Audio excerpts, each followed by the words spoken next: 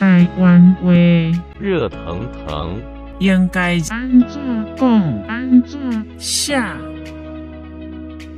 小滚滚，内容是从台湾闽南语常用词词典引用。示意热腾腾，立烫顶卡起来娘娘，要小滚滚，毋好烫着。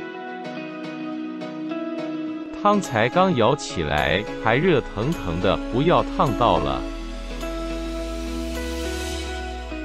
请支持我，点击 subscribe，然后再单击小铃铛，也不要忘了转发给您的朋友圈。